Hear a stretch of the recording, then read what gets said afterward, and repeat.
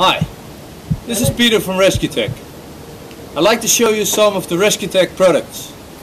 And I will do this by showing you some of the basic techniques in motor vehicle extrication. Now let's talk about rescue. Rescue is the act of saving a person's life and or to prevent from further injury.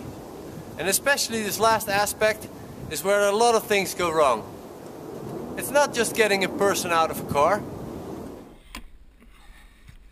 In an accident, the harm is already done.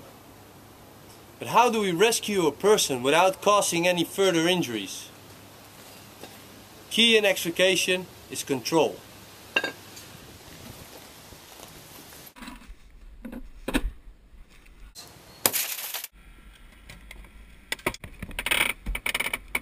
Extricating people from motor vehicles being done since people started driving them.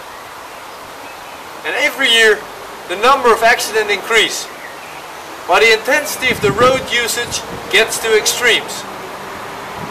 In the meanwhile, a lot of different equipment is being developed together with many, many techniques.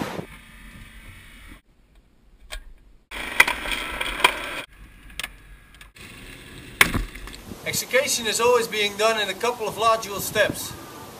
Stabilization, creating space, and extricating the victim.